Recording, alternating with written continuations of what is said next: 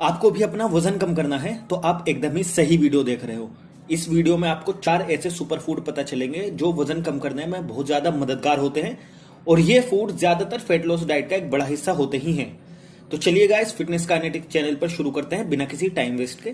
तो गाइस जो सबसे पहली चीज़ है, वो है फ्लैक्सीड हिंदी में इसको बोलते हैं अलसी। फ़ोटो इसकी आपको दिख रही होगी। ये वज़न कम करने में बहुत ज़्यादा मददगार होती है, क्योंकि इसके अंदर फाइबर होता है पोटेशियम होता है पोली और मोनोसेचुरेटेड हेल्दी फैट्स होता है प्रोटीन होता है, ये बहुत मददगार होती है वज़न कम करने में।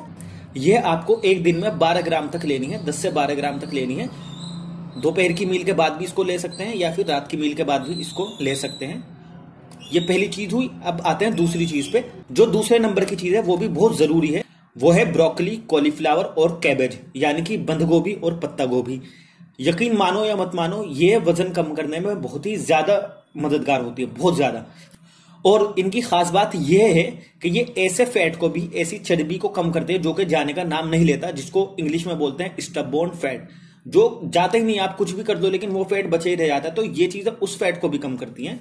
इनमें फाइबर होता है और ज़रूरी विटामिन और मिनरल्स होते हैं जो कि बहुत ज़रूरी होते हैं। ये, ये आपको एक दिन में डेढ़ से दो सौ ग्राम तक खानी है। दिन और रात की मील में इनको ऐड करके खा लेना। अब आते हैं नंबर तीन की चीज़, जो कि बहुत ही ज़्यादा ज़रूरी है और बहुत ज़्यादा ध्यान देने वाली भी है। देखिए, तीसरे नंबर की जो चीज़ है, वो है चिकन, फ़िश, एग एटसेट्रा समझो इस चीज़ को जरा एक मिनट। देखो, ये प्रोटीन के बहुत अच्छे सोर्स है। क्यों? क्योंकि जब आपको वज़न कम करना होता है ना तो आपको कार्बोहाइड्रेट कम करने होते हैं और आपको प्रोटीन ज़्यादा लेना होता है। तो इसलिए क्योंकि ये चीज़ें प्रोटीन की बहुत अच्छी सोर्स है तो वज़न कम करने में आपको बहुत मददगार होंगी ये। क्योंकि आप फैट लॉस की कोई सी भी डाइट देख लो, उसमें आपको प्रोटीन मिलेगा ही मिलेगा और ये प्रोटीन के बेस्ट सोर्स है। लेकिन एक चीज़ यहाँ पर ध्यान रखना, आप अगर चर्बी कम कर रहे हो अपना या वज़न कम कर रहे हो तो उबला हुआ चिकन मत खाना, ना ही उबली हुई कोई फ़िश वगैरह ये खाना, ठीक है? अब ये क्यों नहीं खाना, ये मैं अभी आगे बताऊँगा, ठीक है? अभी आगे बताऊँगा। इससे पहले ये जो चौथे नंबर की चीज़ है, उस पर ध्यान दे लो। अगर यहाँ ध्यान नहीं दिया ना तो आपकी जान को भी बहुत ज़्यादा खतरा हो सकता है। समझे इस चीज़ को? ये बहुत ही ज़्यादा ज़रूरी चीज़ है। ये मुझे तो लगता है ये चारों चीज़ों में सबसे ज़रूरी यही है।